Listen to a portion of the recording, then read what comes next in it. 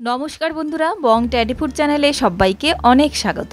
আজ আমি তৈরি করব পটলের একটা দুর্দান্ত রেসিপি তার জন্য এখানে আমি পটল নিয়ে নিয়েছি আর পটলগুলোকে মাঝখান থেকে অর্ধেক করে নিয়েছি আর খোসা খুব ভালোভাবে ছাড়িয়ে ধুয়ে রেখে দিয়েছি। এরপরে আমি এখানে একটা মশলা তৈরি করার জন্য নিয়ে নিয়েছি পোস্ত। পোস্তটাকে নিয়ে আগে গুঁড়ো করে নেব। আর এখানে নিয়েছি নারকোল কোড়া। নারকোল তোমরা ছোট ছোট করে কেটে এটা একসাথে মিক্সিতেও গুঁড়ো করতে পারো। আমি প্রথমে দেখো পোস্তটাকে গুঁড়ো করে নিয়ে তারপর নারকোল কোড়াটা দিয়ে এর মধ্যে দিয়ে দেবো কিছু কাঁচা লঙ্কা। কাঁচা লঙ্কাটা অবশ্যই তোমরা তোমাদের টেস্ট অনুযায়ী দিতে পারো। তারপর সামান্য একটু জল দিয়ে এটা ভালোভাবে পেস্ট করে নেব। দেখো পেস্ট করে নিয়ে ফিরে আসলাম। পেস্টটা কিন্তু খুব ভালোভাবে মিহিভাবে করতে হবে। এরপরে আমি পটলগুলোতে নুন আর হলুদ মাখিয়ে নেব। নুনটা কিন্তু অবশ্যই আন্দাজ করে দেবে, কারণ তরকারিতে যখন আমি রান্না করব, তখনও কিন্তু নুনের ব্যবহার করব, তাই নুন খুব অল্প করে দিয়েই এখানে ভাজাটা করে নেব।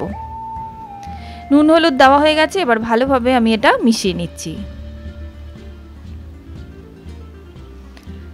দেখো, সমস্ত পটলের গায়ে ভালোভাবে নুন হলুদ মাখানো হয়ে গেছে।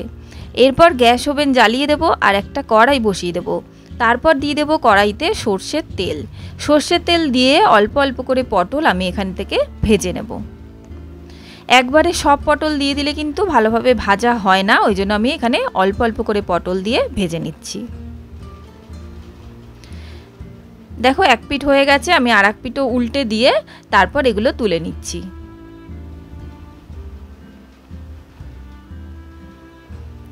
ঠিক একইভাবে বাকি পটলগুলো আমি দিয়ে নিয়েছিলাম। তারপর সব ভাজা হয়ে গেছে, এবার সেগুলো আমি তুলে নিচ্ছি।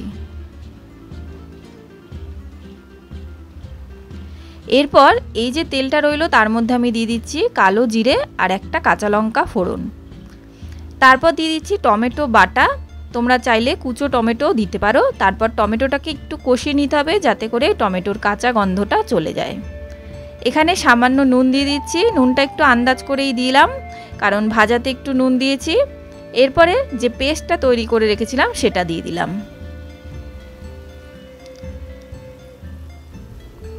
দিয়ে এই সময় গ্যাসের ফ্লেমটা একটু লোতে রেখে আমাদের ভালোভাবে মশলাটাকে কষিয়ে নিতে হবে।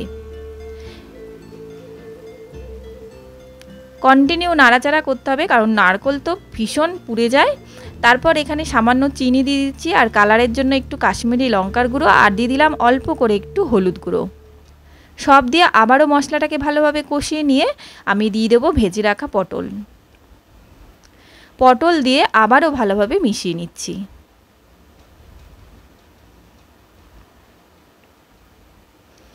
এবার ভালোভাবে পটলের সাথে মশলা মেশানো হয়ে গেলে মিক্সার জারটার মধ্যে যেটার মধ্যে আমি বেটেছিলাম সেটা ধুয়ে জল দিয়ে দিচ্ছি। এখানে হাফ কাপ পরিমাণ জল দিলাম। খুব বেশি জল দেওয়ার প্রয়োজন নেই, কারণ পটল কিন্তু আগে থেকেই ভাজার সময় নরম হয়ে এসছিল।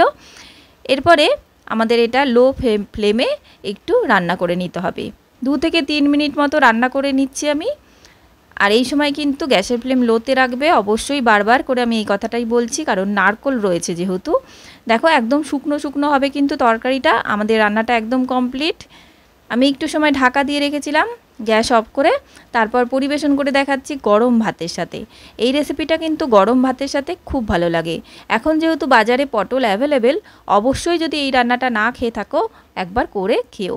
আর কেমন লাগল অবশ্যই আমাকে কমেন্ট বক্সে জানিও। ভালো লাগলে একটা লাইক শেয়ার এবং সাবস্ক্রাইব করে নিও আমার চ্যানেলটিকে। তাহলে আজকের মতো এই পর্যন্তই। আবার চলে আসব অন্য কোনো রেসিপি নিয়ে। ততক্ষণ পর্যন্ত ভালো থেকো, সুস্থ থেকো।